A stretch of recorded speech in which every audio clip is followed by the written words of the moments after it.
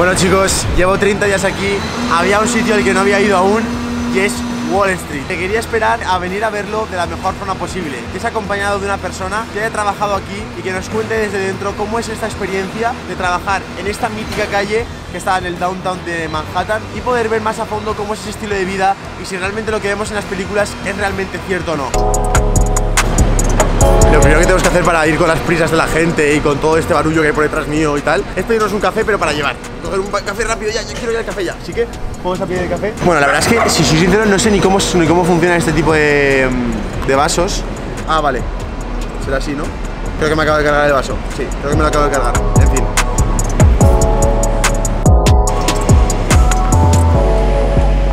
Chicos, os traigo aquí a Nico, que es un grande Aparte de luego conocer un poco más acerca de él Cómo es, cuál es su historia con Wall Street y todo eso Quiero ir enseñando diferentes spots, yo creo que son muy interesantes De la zona de lo que es Wall Street y todo este distrito financiero Y queremos empezar enseñando esta parte que es la parte del New York Stock Exchange Que yo creo que es la parte como más visible y más turística, ¿no? Sí, totalmente, estamos en el cruce entre la calle Wall Street y Broad Street este además, justo este sitio se han grabado muchísimas películas. El logo de Wall Street cuando se baja del bus en una de las primeras escenas, esto se baja del bus ahí y entra la bolsa por aquí. Un sitio bastante, bastante simbólico. ¿Tú has estado trabajando aquí en Wall Street? Sí. ¿Cuántos años de tu vida? Seis años, siete años. Siete años de su vida está trabajando aquí en Wall Street.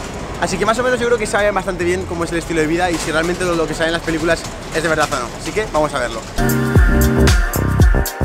Estamos en la calle, Nico, y yo creo que la pregunta que más pega en este momento es un poco acerca de la rutina de una persona que trabaja aquí. ¿Realmente a qué hora empieza la jornada de una persona que trabaja en Wall Street? Yo creo que hay distintos tipos. De los bancos grandes están bastante divididos. Generalmente la gente que trabaja en Investment Bank hace básicamente deals, que es lo que se llama, ¿no? Entonces, okay.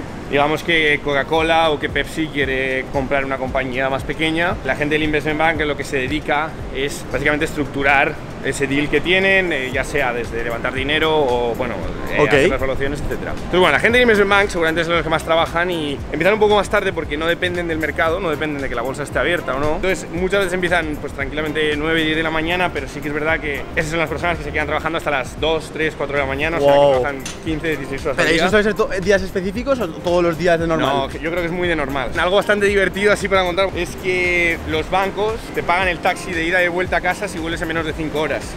Y pasa mucho que los analistas llegan salen de la oficina a las 2, vuelven a las 7, o, salen de la oficina a las 3 y vuelven a las, a las 8 porque te pagan el taxi.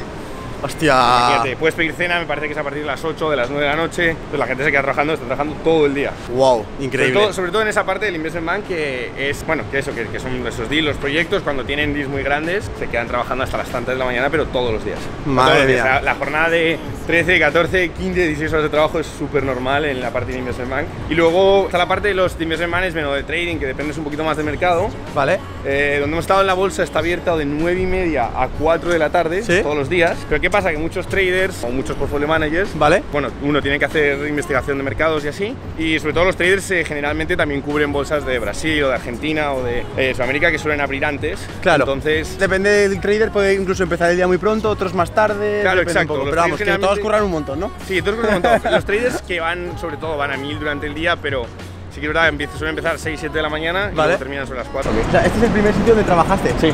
Cuando tenía 18, 19 años, mi primer trabajo de becario fue justo aquí. Literal, ¿19 años has trabajado aquí? Mi segundo, tercer año de uni. Estuve en bueno, Forte Capital Group, que es una, eh, es una casa de brokerage que hacen eh, transacciones de, de, acciones. ¿Cómo definirías al empleado normal de aquí de Wall Street? Yo creo que muy centrada en lo suyo, muy, muy centrada sobre todo en, el, pues en esa parte del éxito. Claro. Y luego generalmente por un poco todo lo que hay que estudiar de mercados o todo lo que hay que estudiar del mundo, sobre todo para conocer bien Wall Street, para conocer bien eh, los mercados. Siento que la gente suele ser muy interesante, que conoce muy bien ah, vale, muchas cosas del mundo, puede ser de políticas, sociales o económicas.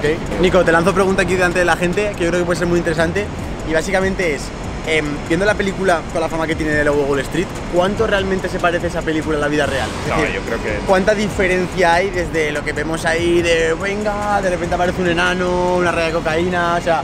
¿Cuánto se parece de eso a la vida real? ¿Cuánto dirías que se parece? Quizás en los 80, los 90 sí que la gente que sigue trabajando aquí te cuenta historias de, bueno, era, era loquísimo, como que pasaban mil historias, todo.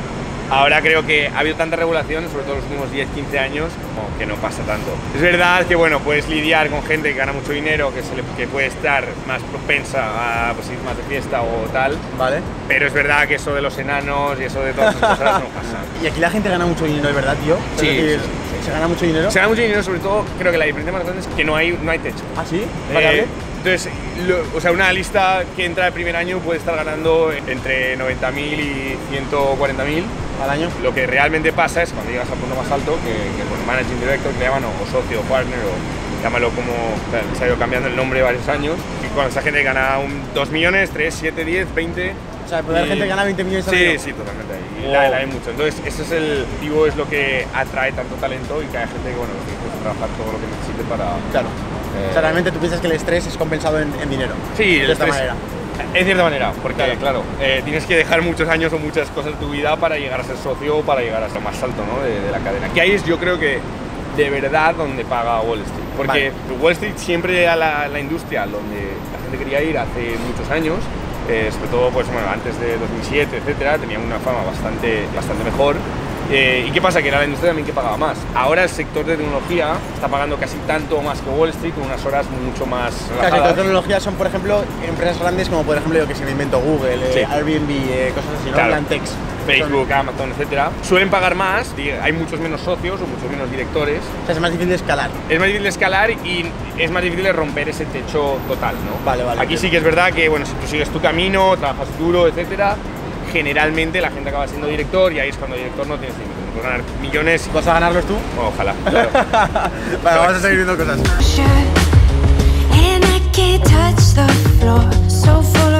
Emotion. unos sistemas de seguridad que son increíbles. Tradicionalmente aquí es donde guardaban el oro. Y siguen guardando el oro, solo que Pero bueno, era más emblemático, claro. Ahora Claro, ya no es- ahora, ahora ya es- el- ese valor del oro ha perdido un poquito su posición o, su- o su valor, ¿no? Pero aquí lo que pasa es que guardaban una gran cantidad del oro de Estados Unidos. Ah, por eso tienen tanta seguridad. guardando. Todo el edificio se cierra en, no sé si son 40 segundos, sí, Oh. tienen un momento. Y tienen como una especie de base militar en donde hay siempre francotiradores preparados y, y suben a la azotea. No Y jodas. alguna vez, alguna vez pasas por aquí, yo francotiradores en la, en la azotea. Ok, ahora estamos en la es lo que hablábamos antes.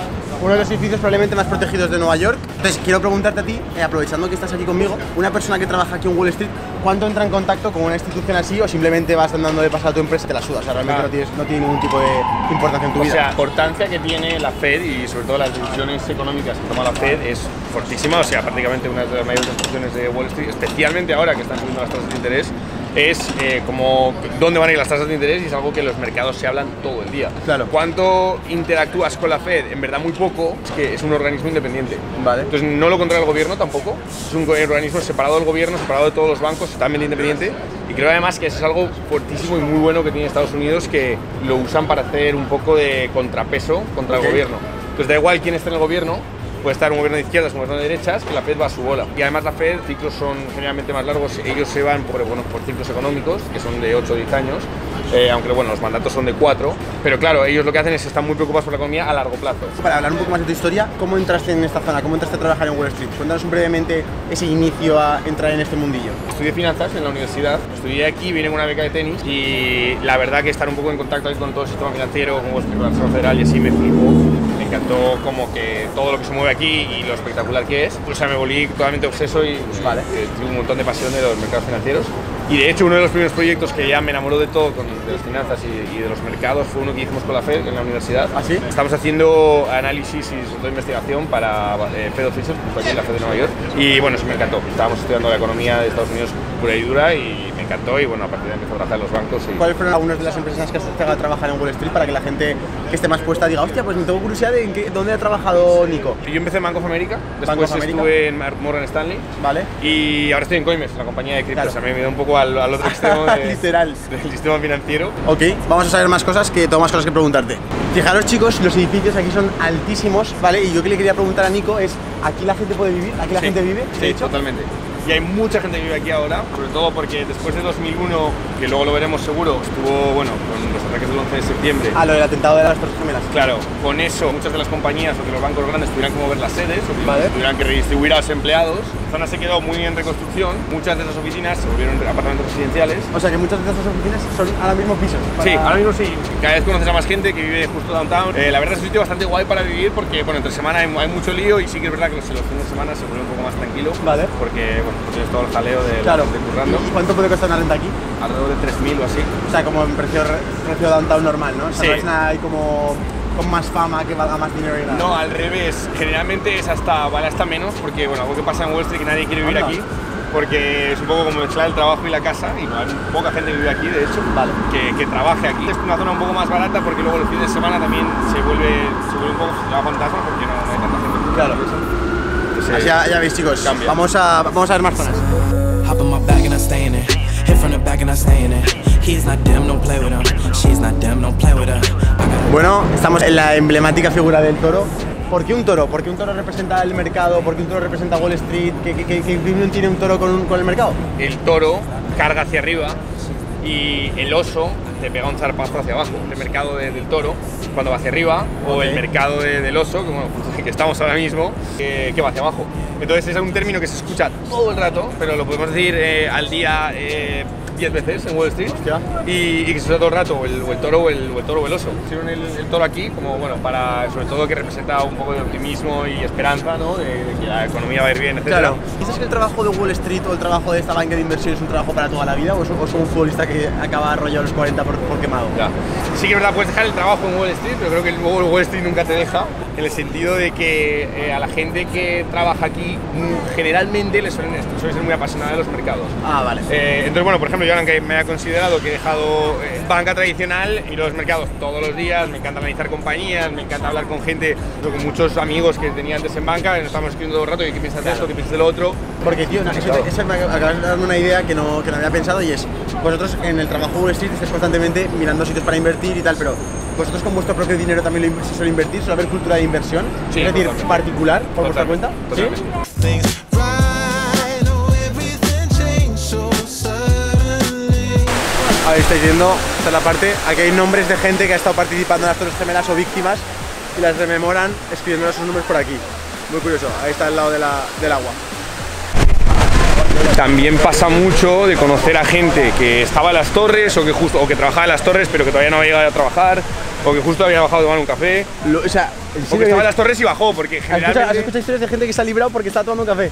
sí eh, Wow. una amiga que bajó pues creo que los aviones el avión en su torre pegó a las 9 y media o 9.40 bueno ahí pegan los dos aviones con 10 minutos y justo la madre de una amiga y si nos ha, nos ha contado un par de veces la historia como eh, le pilla pidiéndose un café abajo eh, uno de los aviones La gente que estuvo ahí, ¿vieron los aviones estrellándose? No, no, no, dijeron que simplemente fue un estreno enorme Claro. y que, bueno, que les empieza. En plan, no es un plano que viene, que viene, que viene, no es No, un no, plano no. así. Seguramente la gente que lo, eh, o sea, que, que lo vio, claro, estás en, las- en los- en la- en la parte más alta de las torres y nadie, desde donde pegó el avión hasta la parte más alta, nadie se libró.